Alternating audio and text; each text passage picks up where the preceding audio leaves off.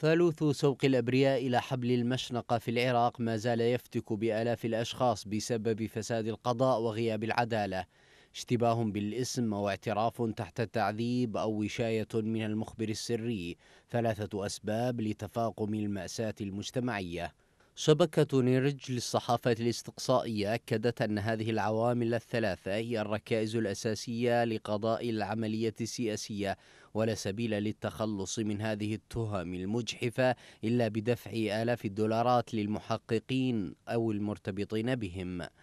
الكثير من المعتقلين لا سيما الذين اعتقلوا بوشاية كيدية لا أدلة ضدهم لكنهم يجبرون على دفع مبالغ كبيرة تتراوح ما بين 20 ألف إلى 50 ألف دولار ليدون المحقق أقوالا تصب بصالحهم.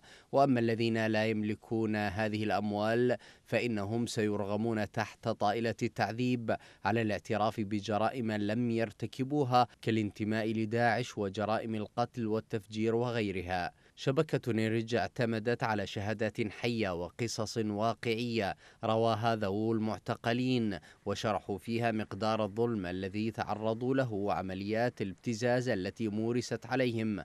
ولا سيما فيما يخص المعتقلين من المناطق التي شهدت عمليات عسكرية. وتنقل الشبكة عن مصادر رسمية أن أعداد المعتقلين ظلما بوشاية المخبر السري والاشتباه بالاسم تجاوزت 76 ألفا حتى عام 2022 في حين هناك 60 ألف معتقل في سجون لا تتجاوز قدرتها الاستيعابية 25 ألفا. تتفق المصادر الأمنية أن قسم التحقيق تحول إلى تجارة تدر مبالغ كبيرة على بعض المحققين حيث إن بعض منتسبي وضباط الدفاع والداخلية يدفعون مبالغ كبيرة من أجل نقلهم إلى قسم التحقيق فمنصب أدنى في تلك الأقسام قد يباع بمبلغ 250 ألف دولار وهو مبلغ يمكن أن يجمع من خلال عشر ملفات تحقيق مع معتقلين بتهمة الإرهاب.